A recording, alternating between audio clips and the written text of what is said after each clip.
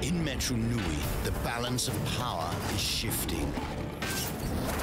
The Vahki are spreading throughout the city.